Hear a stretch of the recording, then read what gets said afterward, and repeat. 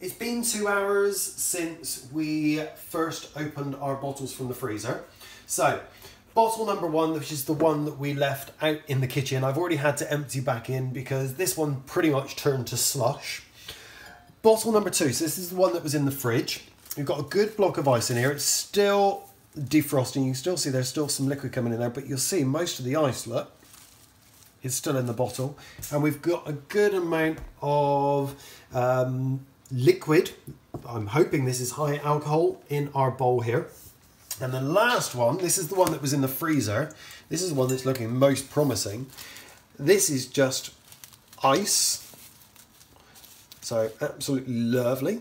And in the bowl, we've got, again, a good amount of a liquid, which is what we're hoping to be high alcohol. So what we're going to need to do is we're going to need to test this with our hydrometer, our spirit hydrometer to check out what the alcohol content is going to be. Trouble is, this liquid needs to be at 20 degrees Celsius to get an accurate reading with the hydrometer. And I can tell you, these are bloody cold. So I'm going to let them warm up and then we'll take a measurement with our hydrometer to see, basically, we know that one's no good, but which out of these two is going to give us the highest amount of alcohol. It's taken a little bit of time for our uh, samples to warm up. So in that time, our bottle number one that we originally turned to slush, I put back in the freezer, let it refreeze, and I've distilled it again in the freezer. So we've got uh, this one, which was done in the fridge, this one, which is done in the freezer, and this one, which was also redone in the freezer. So what we said we were going to do is we're going to pour our sample. So this is the higher alcoholy bit, hopefully. So that goes into our trial jar. And we take our spirit hydrometer. We're going to lower that in. We're going to see what it's going to do. Okay. That's not doing as I had expected. So I know when I put this into the freezer to freeze, the alcohol content in this liquid combined was about 15% ABV. So we've frozen it and we've allowed a liquid to come out of the substance and the majority that was left in here was ice so presumably what came into this bottle or into the bowl was alcohol because alcohol freezes at a much lower temperature than water. However, our hydrometer reading, James, come on and have a really good look at this. I don't know if you can see guys, is actually showing with the spirit hydrometer that is reading zero. So, hmm, stay there James. Da, da, da, I'm going to do something. Wouldn't recommend you do this, but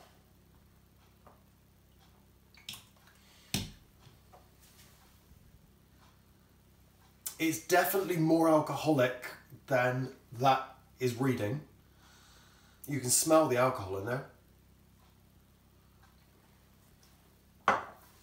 It's not pleasant, um, but there is a burniness in the back of the mouth. So it is saying to me that there is something in this liquid that is causing it to be more dense than just alcohol. And I'll confirm that now. Let's pour that back in. So I've got a, another little gadget for testing the alcohol content. So uh, it looks like a little bit of a, a pipette. Um, and the way this little thing works is we fill up this little reservoir at the top. Oh, that was a bit much. But it will start dripping out the bottom in a moment. There we go. It's a very, very thin tube all the way down through here. So once it starts dripping through properly, we then put our finger over the end, turn it upside down. This is going to be quite difficult to read there's a little tube and what happens once you left, let the alcohol run out it suddenly starts dropping down through the tube and the liquid will stop and you'll end up with a little air bubble at about where the ABV is. So that's coming out at about, showing here, about 20, 22, 23%, which from what I've just tasted, would probably be about right. So something weird's going on with the hydrometer in here. Perhaps there's something else in this liquid that's creating it to be more viscous. Okay, let's try sample number two. So sample number two, this is the one we froze in the freezer and then defrosted in the freezer.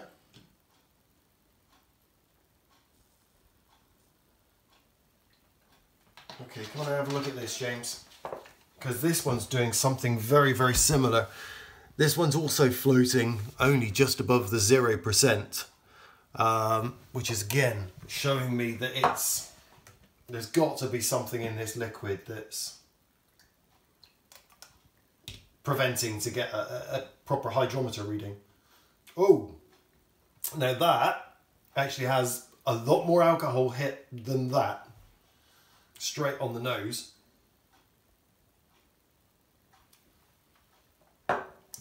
Again, there's more of a burning sensation, um, more like you would get from uh, something like 35 40% whiskey. I wonder if we're going to get anything out of here if we try it with this little baby.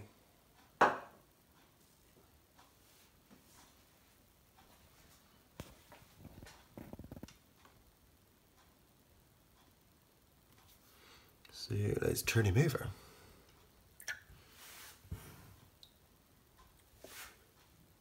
Come on, it's taking its time. There it goes. Whee!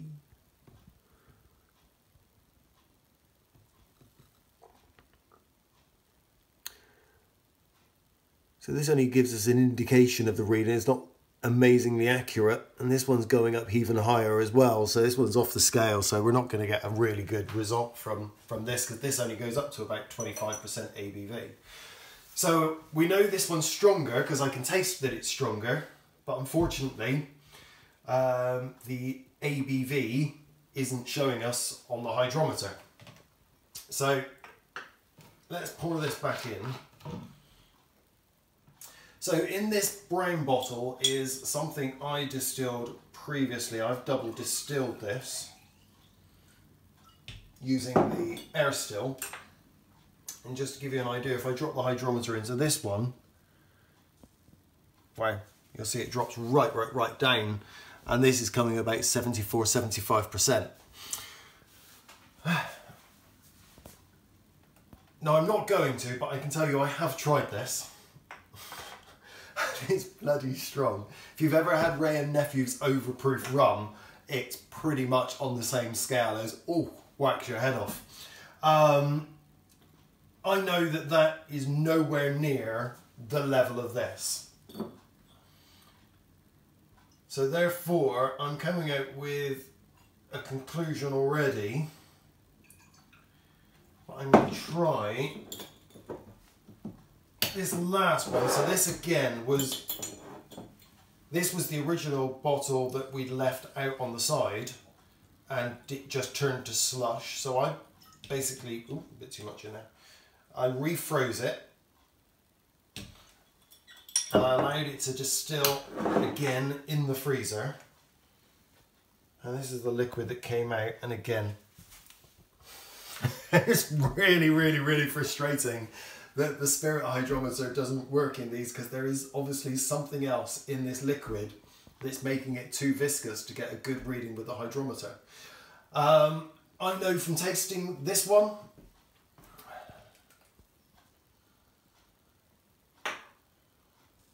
I know I can smell these two here are going to be about the similar sort of percentage alcohol.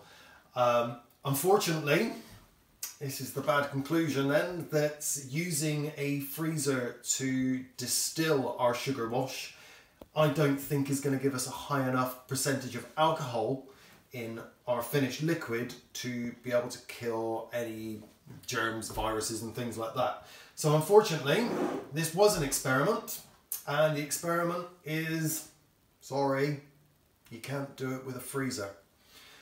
You can do it with something like an air still or a still where you can actually distill off and get pure, pretty much high strength alcohol out of it. As you saw, we can get 75% out of this little air still. Um, or your alternative is to go and find somewhere that has isopropyl alcohol, which is 99.9% alcohol, and then you can add a couple of things to that, and uh, like some glycerin or some aloe vera gel and a bit of um, perhaps some lavender oil or something along those lines to, to make it nicer. But unfortunately, the freezer method isn't going to work. So, what am I going to do with this? I'll tell you what I'm going to do with this. I'm going to put this all back together. I'm going to pop this in the still and I'm going to distill it off in the air still and make some high strength alcohol so that we can use that as hand sanitizer um, rather than just waste all this. So, sorry guys, poor conclusion or good conclusion, poor result. So, sorry.